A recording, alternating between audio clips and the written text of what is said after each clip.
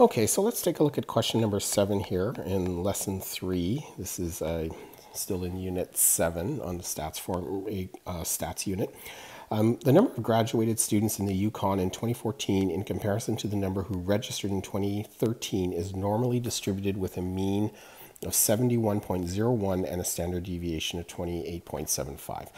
Okay, so again, if we sketch our just a kind of a curve to kind of understand what we've got here, it's normally distributed okay, which means it's symmetrical um, around the mean.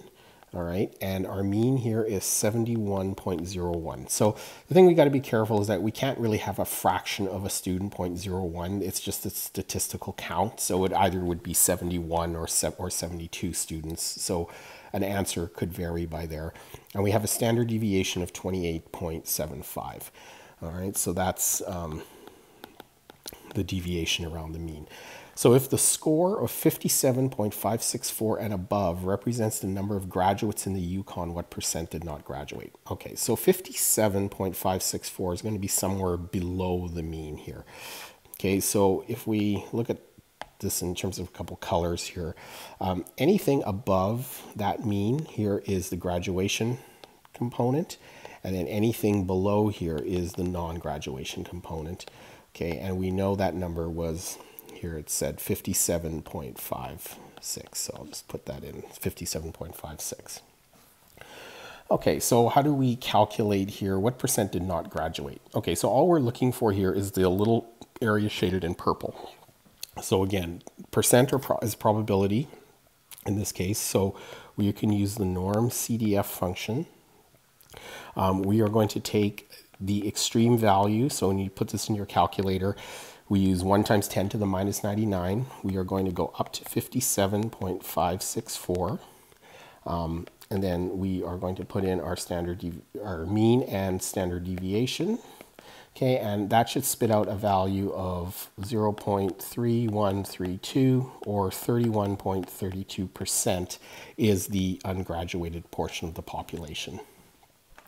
All right, and then if 420 grade 12 students basically went through the full school year, how many did graduate in June 2014? Okay, so well, we know we have 420 students that we started with.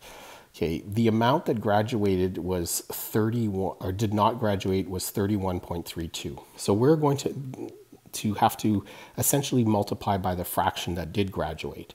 So the amount that did graduate would be 100% minus 31.32 Okay, now remember these are percentages, so we'll need to convert those into decimals. Okay, and when we actually work it out on the calculator.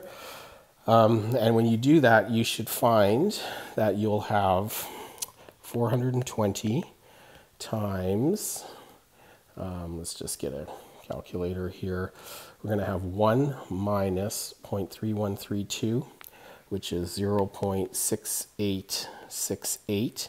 Okay, now it's important, take this to like four decimal spots here. Just make it a little bit clearer.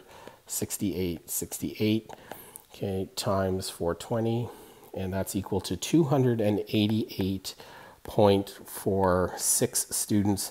So you can round this up to either 289. Um, in some cases, you might just say 288. It just depends how you want to interpret that, that last fraction. Um, but to the nearest whole number, that's going to be what one of you, one of the values will, will have. Um, so this is the amount that passed. Now, if you see that there's a slight discrepancy in the value, it's more than likely just due to the number of decimals that we're carrying the calculation through. So this could be off by like plus, plus or minus one or two um, elements, um, but it's still the correct method for looking at the solution.